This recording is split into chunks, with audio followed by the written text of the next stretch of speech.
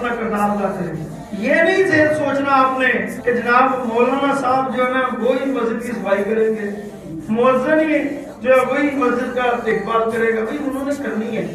ہر مسلمان جس نے کلمہ پڑھا نا، اس کی بھی ذمہ داری۔ ہے تاجدار ختم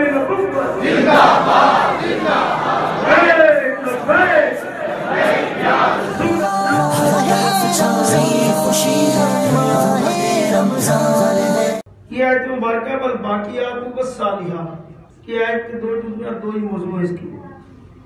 بل باقیات وہ جو تم نے چھوڑا۔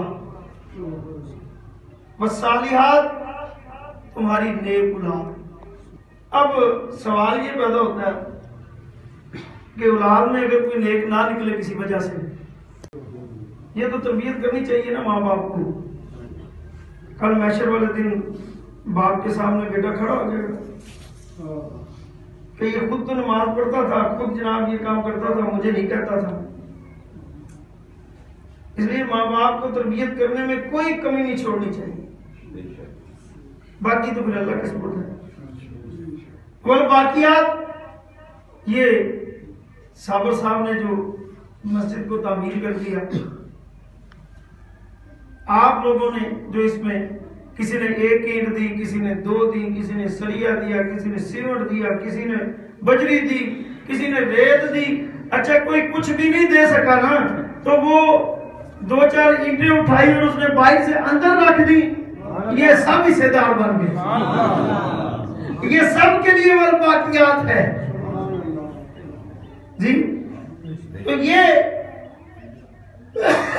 اللہ کا ہم پر فضل ہوا انعام ہوا۔ اور یہ مسجد تعمیر ہو گئی۔ اب اس کے اندر اور بڑھ چڑھ کر اہل علاقہ اہل محلہ اہل محبت اہل اسلام اپنا کردار ادا کریں۔ اور اس کردار میں یہ نہیں ذہن سوچنا آپ نے کہ جناب مولانا صاحب جو ہے نا وہی مسجد کی صفائی کریں گے۔ مؤذن ہی جو ہے وہی مسجد کا دیکھ بھال کرے گا۔ بھائی انہوں نے کرنی ہے۔ ان کی ذمہ داری ہے۔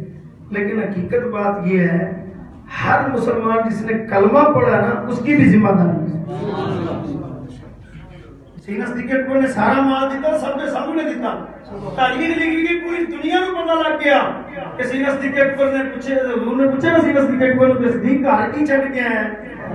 تے آپ نے فرمایا، میں اللہ دے اللہ رسول کو کر چھڑا۔ میرے لیے اللہ نے اللہ رسول ہی کافی ہے۔ ظاہر تھا کہ لوگوں کو ترغیب ہو گئی یہ اچھی بات ہے ہونی بھی چاہیے تھی لیکن کدی کدی خفیہ بھی کرو کسی نے پتہ بھی نہ ہو۔ وہ بھی برکتاں پڑی۔ ہیں جی؟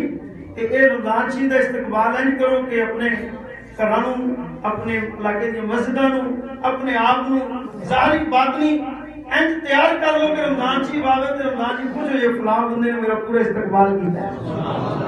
تاجدار ختم نبوت۔ زندہ باد زندہ باد زندہ باد